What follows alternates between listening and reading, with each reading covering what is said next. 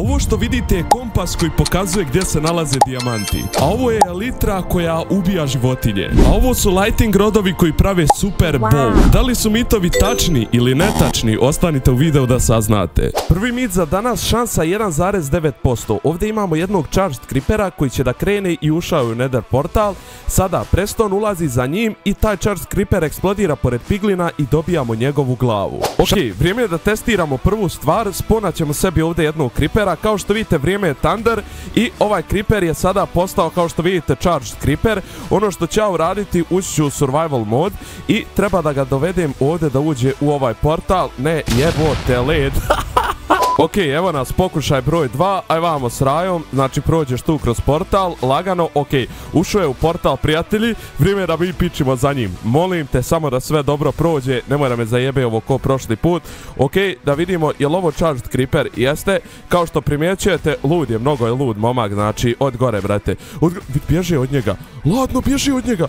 Ja nemam nikakav armor na sebi, kao što primjećujete. Ok, Creeperu moj, dođi, eksplodiraj tu, bum, ok, ubio je I da vidimo, znači dobili smo Piglin Head, što znači da je prvi mit zapravo istini. Šansa za ovaj mit je 6,3%. Ovdje imamo 4 lighting roda i 4 bowa koja su bačena tačno u sredinu.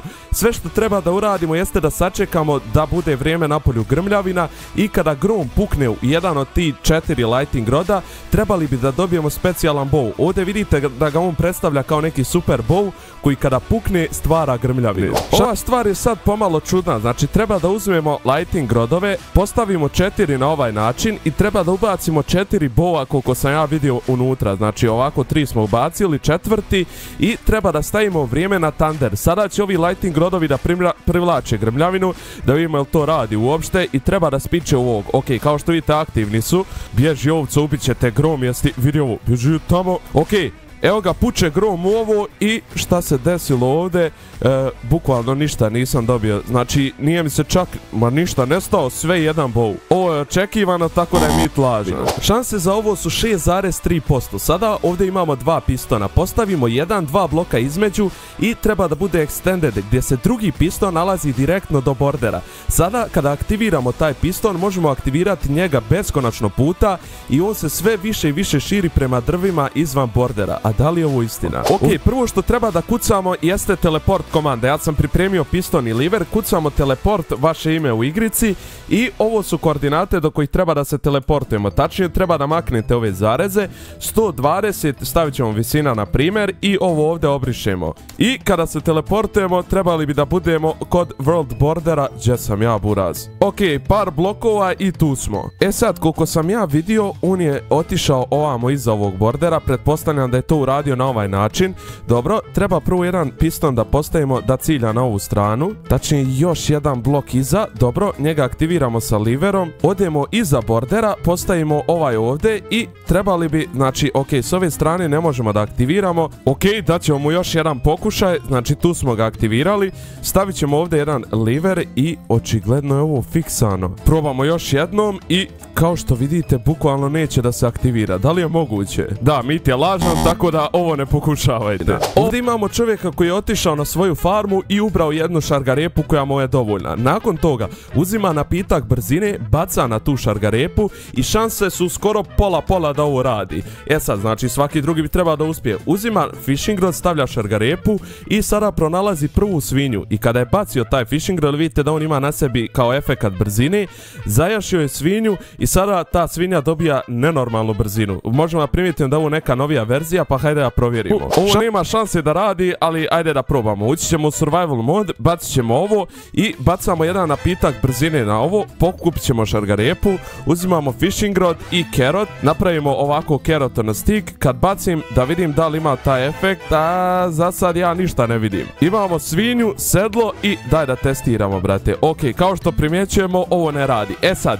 ja ovdje imam još jedan napitak brzine, jer ja ne znam koji on tačno bacio, znači nije naveo, tako da idemo pokušaj broj 2. Bacamo šargarepu, bacamo ovaj napitak na nju, pokupimo šargarepu, uzet ćemo ovo ovako, napravimo keraton stick i daj da testiramo, brate, ovo ok i da vidimo Ma, nema šanse, brate. O, je opet isto, ovo ne radi nikako. Mit je definitivno lažan. Šanse da ovo radi su 4,8%, što je realno veoma mala šansa da će da uspije, ali imamo čovjeka koji je ovdje sa shiftom i desnim klikom uspio da napravi tower chestova gdje se ubagovali sa ovim novim brodovima i u ovoj novoj verziji gdje su dodani chestovi. Pa hajde da provjerimo ovo. Ok, u ovom imamo stvarno puno ovih čamaca, moramo ovako ovo da riješim. Znači svaki će imat neku svoju otprilike dimenziju ovako. Ok, napravili smo poprilično veliki stek ovih brodova i po njihovom ja bi trebao da uzmem sada ovdje chest i ako testiramo znači ovdje možemo da vidimo da ovaj chest ne možemo da postavimo na boat. Znači možemo pored ne možemo na boat ali kao po njihovom mišljenju ovdje bi trebalo da može da se stavi jedan chest i da vidimo da može to da se uradi i da li će ovo išta da ubaguje i kao što primjećujemo ništa ne radi ali imamo brzi način da se popnemo gore. Lol ovaj mit je lažan definitivno. Šanse da ovo radi su 1,2 2%. Znači ovo je skoro bukvalno nemoguće da radi. Čovjek uzima, baca tri šulkera puna pikeksova i baca anvil na vrh toga gdje dobijamo neki ogroman pikeks. I taj pikeks bi trebao da ima neke super moći, pa hajde da provjerimo. Ovo nema šanse da radi. Ovo djeluje toliko fake da je to nerealno. Uzet ćemo diamond pikekse i napunit ćemo puna tri shulker boksa ovako. Ući ćemo u survival da pokupimo ovo sve kao što vidite tu je. I sada sve što treba da uradimo jeste da bacimo ova tri šulkera ovako ovdje, znači kao što vidite pali su dole i da uzmemo jedan envil i bacimo na ovo.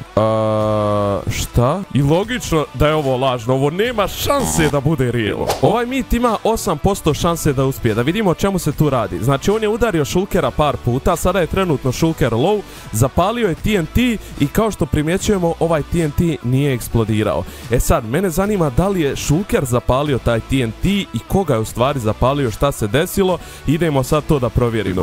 Ok, da provjerimo. Znači TNT ne bi trebalo da eksplodira ako ovaj šulker bude dovoljno low. Kao što vidite, ovo je pravi šulker i ja ću ga udariti ovako, ne, četiri krita ne smijemo. Znači tri krita, jedan, tačnije tri hita, jedan, dva, tri. Dobro, i postavit ćemo ovdje TNT. I šta ja treba sad? Treba da uđem u survival, da vidimo da li će ovaj TNT da eksplodira i ok. Izgleda još uvijek nije dovoljno low. E, možda sad treba još jedan... Lika, može još jednom udar, da li je moguće ovo? Sad je definitivno na pola srca i ladno se upali. What the hell? Znači fazon, ako je dovoljno low, ovaj TNT će sam da se aktivira. Ladno, Buraz ovo radi, brate, i to lik stvara neku vatru. Tako da ovaj mit je istinit. Šanse da ovo uspije su 1,6%. Imamo 4 dijamanta, iznad imamo blokove i 4 pistona koji ovo aktiviraju. Znači ovi blokovi su pritisli kompas prema dole i kada su ga pritisnuli dobili smo taj neki kao novi kompas koji pokazuje zapravo gdje se nalaze dijamanti jer se ti blokovi spustili i pritisnuli taj kompas. I ovdje čovjek pokazuje da taj kompas zapravo radi i da možete pronaći dijamante pomoću njega. Ajde da provjerim. Ok, razumio sam kako ovo funkcioniše. Kao što vidite ja sam trenutno na levelu minus 57, tu se otprilike nalaze dijamanti 56-57 i trebaju nam znači pistoni. Trebaju nam četiri pistona. On je koristio granit blokove, treba nam redstone i kompas. E sad, s obzirom da se mi nalazimo dole u dubini, ja ću da iskoristim ovaj Deep Slate Diamond Door. Znači on je postavio ovako četiri rude, nakon toga je napravio jedan blok između i postavio ove granit blokove i iznad svega toga treba da postavimo pistone koji ciljaju prema dole. Znači 1, 2, s ove strane 3 i 4. Ja ću da ostavim gore prostor da možemo sa redstoneom da aktiviramo. Sve što treba da uradimo jeste da uzmemo i uđemo u survival mod ovako, dobro, i da bacimo tu jedan kompas ispod ovog. Kao što vidite tu se nalazi taj kompas i sad moramo ovo sve da aktiviramo sa redstoneom. Ja ću da se popnem gore. I kao što vidite jedan redstone ovo aktivira, mi ćemo sve ovo da aktiviramo sa četiri redstona. I evo ga naš kompas je sad izašao iz ovoga. I kao što vidite, uuu, pokazuje na dijamante, da li je moguće ovo brate? Sad ću uzeti pikeks da iskopam ova četiri dijamanta ovako, dobro, da vidimo da li će on da promijeni, ladno je promijenio putanju, pogledajte sad ovo, sad pokazuje da se u ovom smjeru ovamo nalaze dijamanti. Ok, mi smo na tačnom levelu za dijamante i meni pokazuje otprilike u ovom smjeru da se nalaze. Nema šanse da je ovo istina i da na ovaj način možete da ubagujete kompas. Ja kontam da je ovo sve lažno jer dru... What the hell, brate? Da li je ovo slučajnost ili nije? Kao što vidite, bukvalno pokazuje prema lijevo. Znači, vidite ovo kako pokazuje prema dijamantima. Skroz lijevo se pomjera. Ovo nema šanse, brate. Istina je, ladno, mit je istinit, ne mogu da vjerujem. Bukvalno vidite sami da sad pokazuje na skroz drugu lokaciju, znači nema laži, nema prevare. Šansa 4,7%. Ovdje imamo čovjeka koji je napravio sebi dispenzere i unutra ubacio napitke Instant Damage dvojka koji je aktivirao sa Tripwire hookom i na sebi ima elitru. To je jako bitno da se naglasi, ima dobar armor, ima elitru na sebi. I šta se sada desi? Kada postavite ove potione kao na sebe i kada poletite, možete da oštetite životinje i da ih zapravo ubijete ako su one jako low. Ok, zanimljivo. Ajde da probamo i ovo. Imamo dispenser Splash Potion of Harming sa Instant Damage dvojkom gdje ćemo naravno sebi uzeti full netherite jer elitru ćemo da koristimo i normalno da će nam trebati ovo. Ok, vrijeme je da obučemo armor na sebe, da stavimo elitru, ovo će biti naša magična elitra. E sad treba ove dispenzere da postavimo da ciljaju prema nama i to možemo raditi lagano na ovaj način ovako, dobro. I sad sve ove dispenzere treba da napunimo sa Splash Potion of Harming Instant Damage dvojka. Ok, mislim da je sve napunjeno. E sad ćemo ovdje da pripremimo neke životinje, znači možemo staviti ovdje sheep, bilo šta, znači vidjet ćemo da li uopšte daje damage. Ako bude trebalo ja da ih udarim par puta da budu low, poješćemo jednu začaranu zlatnu jabuku i da vidimo, ok, ovo nas je udarilo, znači pernulo nas je dobro. Sad imamo sve ove efekte na sebi i vrijeme je da poletimo da vidimo da li ovo radi. Znači ovako ćemo, ok, dobro, čekaj, moramo malo da se udaljimo. Znači ovako i, znači ovako i da li će ovo, ok, nije joj dalo nikakav damage. Ajde da pokušamo ponovo da poletimo i nije ni ovo je dalo. Da vidimo, da vidimo da li će na ovoj da radi, čekaj, je li ovo, stani, ok, izgleda treba samo više da se zaletim, je li ovo ona dobila damage upravo? Ne, brate, ja, mislim da se ja nju slučajno udario levim klikom, iskreno, prijatelji, nisam siguran 100%. Ja ne znam šta da stavim za ovaj mit i radi mi i ne radi, ali isto tako mislim da sam ja slučajno zakačio, vi napišite u komentare, pojma nemam. I to bi bilo to što se tiče ovog videa. Ako ste uživali, obavezno bacite like, share, subscribe i ako želite još ovoga napišite, mi se čujemo sljedećem, veliki, veliki pozdrav!